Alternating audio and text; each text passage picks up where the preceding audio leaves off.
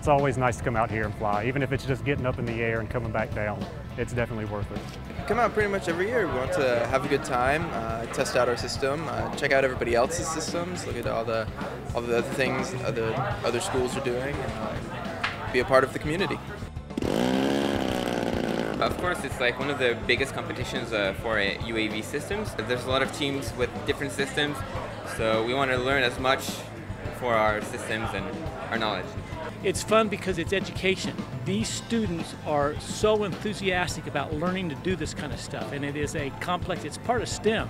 It's science, technology, engineering, math, all the disciplines of engineering, and it, it's not just aerodynamics. It, it, they have to do software, they have to do mechanical, they have to do electrical, and these students are the future of unmanned systems. They can do anything.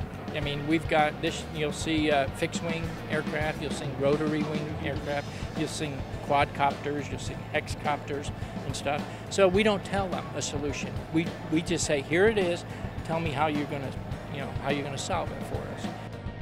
And the energy that these individuals bring to the table to actually see that their engineering technical uh, know-how is translated into actionable and uh, executable hardware is, is phenomenal.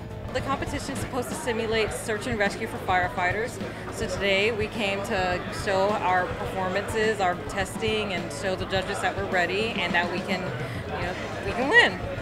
We give them waypoints that they have to fly, and they have to fly them in order. We give them altitude restrictions, speed restrictions, so they all have to follow that. They also have no-fly zones that they're along the route, so they can't go willy-nilly any place they want. We have uh, judges that monitor them in their flight, and then they uh, also then they'll go find targets.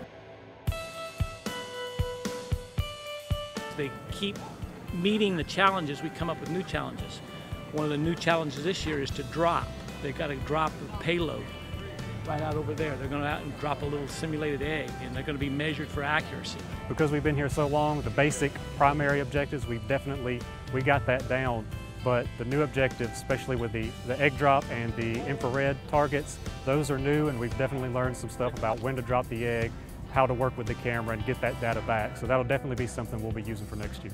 It's amazing when the kids come here and then put them all in the tent together and then how much information gets exchanged.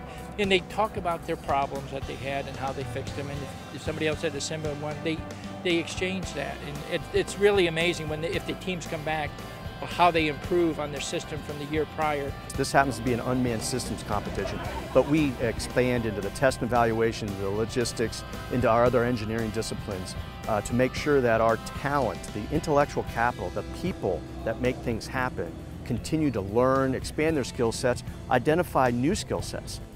Being able to come out here um, and witness uh, this, the, not just the competition, but the competitive spirit.